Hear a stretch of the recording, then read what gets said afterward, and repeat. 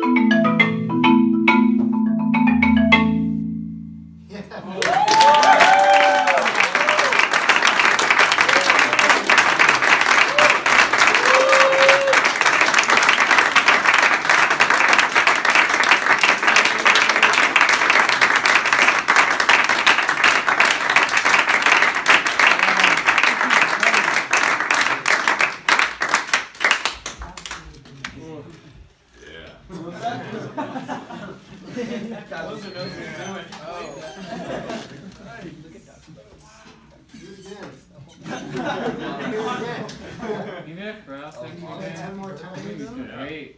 Yeah. Uh, Can you play one? That was great. Uh, Tell me some of what you liked about his plan. Your facial Let me hear expressions. from. What about my facial expressions? They were very gleeful for most of the time, if not completely engaged. Yeah, on a number of levels. Yeah. One, just I liked listening to the music, not because I wrote it, but because of how it was being played. And then, yes, of the smiling is at Bowman as a performer playing that piece, knowing him and his history and him playing that in this room on this date like that. That's another part of the smile too. I loved how like, well yeah, just how I knew you were. That was super nice. But I guess in like a musical sense, I loved how, especially when you got into those rolls, like, I loved how whenever you would like kind of finish a section, it would be like a nice break, and it wasn't you like s- you like spaced those moments like really well. And that's really important to me Yeah, in music. yeah, And I completely agree. And uh, even in that first dramatic one, he's Yeah. finishing the fast section, um, and then he finishes that roll, and none of us in the room breathed. And then he started the crowd. And it was the right amount of space, and he carried us across that gap, and nobody moved. Yeah. The other cool thing about that is just before that, uh, boom, boom, boom. That's not in the music, so that's Bowman's interpretation, and the composer's here. And like, and what's interesting is whether it's, uh, you know, there is that whole thing about when somebody plays your piece and doesn't play it anything like you wrote it, and then you just wanna raise your hand from the audience, and say, that, that's actually not what I wrote.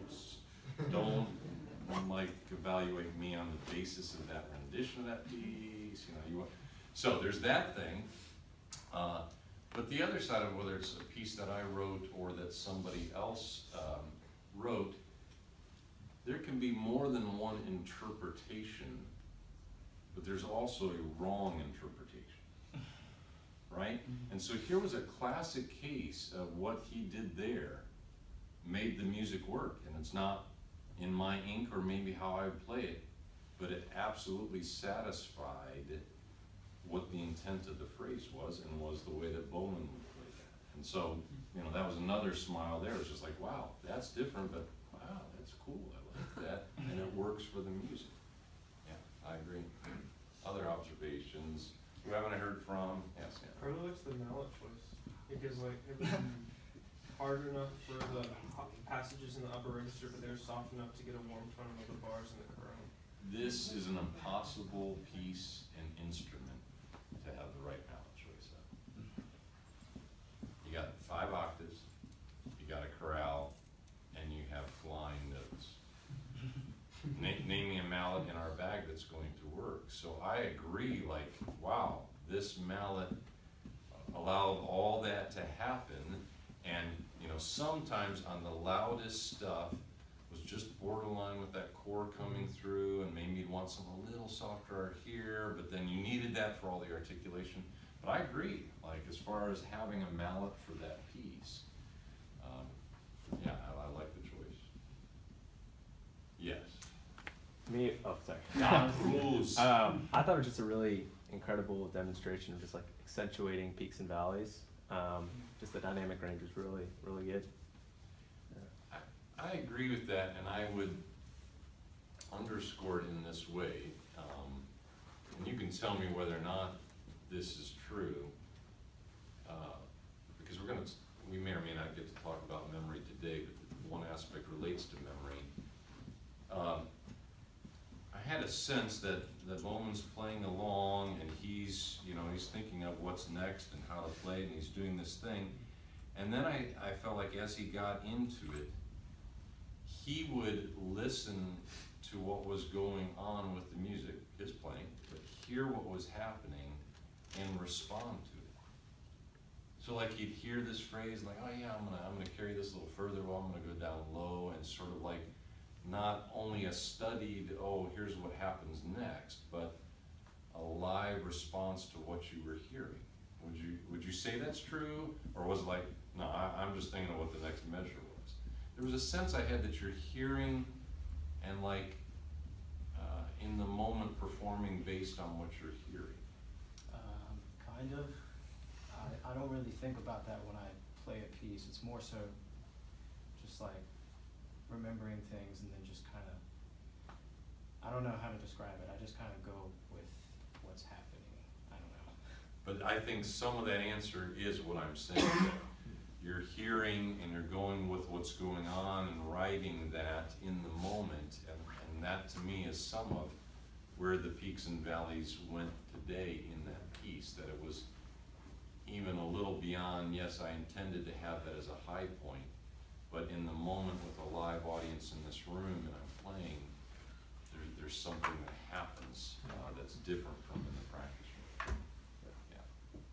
Yes. I guess kind of to tack on, or to tack on to that, uh, peaks and valleys kind of thing, is just in the hands themselves, I thought the balance was really good, and the m- melodic lines and anything that's cool was Yeah. accentuated enough, but like not too much, and especially evident in the part where there's the, the kind of double verticals going on, and that outside mallet's got the melody, and that was just, it was right there, and that was really cool, I could not, I can't imagine, it's so difficult. There's a lot of that in this piece. Yeah. A lot of that, because a lot of notes are happening, and notes are happening at the same time, and some are more important than others. And so we might not even notice that we're listening, we hear the melody ba boo doo boo doo doo, but there's another melody in that hand, by the way, but I'm hearing the soprano just fine. Mm. And in the chorale, SATB, four voices in that chorale. But about the second phrase into the chorale, there's a suspension chain. And at first it's in the alto, and then it's in the tenor, and then it's over here. And he's bringing those voices out, you know, which is not an easy thing to do on marimba, but I agree with you. Balance matters, whether it's of our four mallets, making a decision, what is the important line? And then balancing but also in chamber music and all your ensembles, commercial, classical, otherwise, always be listening with balanced ears. Is the spotlight on me? Is it really, really not on me? Am I in a duet with this person? Uh, and making those, those decisions. Um, All right, other observations? This isn't necessarily a technical thing, but I thought that was like a really good example of someone who's completely engulfed in what they're doing. Mhm. And that's always like a special thing to watch. So Yeah, and when a performer is engaged, himself or herself, in the piece, in the performance, uh, it pulls us in. That, then we become engaged because they're engaged and connecting to it, yeah. Kind of piggyback, uh, piggyback on, on what Isaac said. Yeah, Um, when he was, uh, toward the end of the piece, um, getting out of the, uh, roll and, um, at, toward the climax of the Yeah. roll and into the repri- into the reprise, yeah, I could see like a little like grin on Bo's face, and it, it was just very refreshing to see, um, like a performer who is almost kind of observing the music uh, Right. while he was playing it instead right, of the like trying to- duality of Yeah. I'm watching and enjoying this moment, but oh yeah, I'm playing it too, right? Well, well done to both folks.